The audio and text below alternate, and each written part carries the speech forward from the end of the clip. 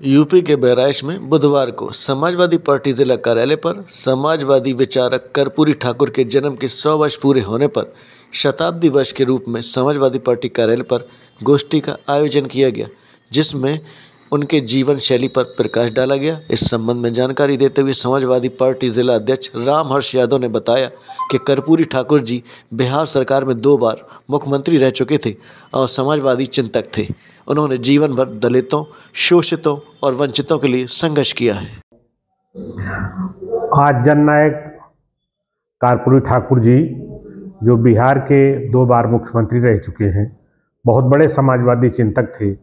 जिन्होंने समाज के दलितों शोषितों पीड़ितों और वंचित लोगों के लिए जीवन भर संघर्ष किया और संघर्ष करते करते आज हमारे बीच में नहीं है, उन्हें भारत रत्न की उपाधि से भी भारत सरकार ने सम्मानित किया है। आज जन शताब्दी समारोह है उनकी। इसी अवसर पर पार्टी के तमाम लोग आए हैं उन्हें श्रद्धांजलि अर्पित करने के लिए।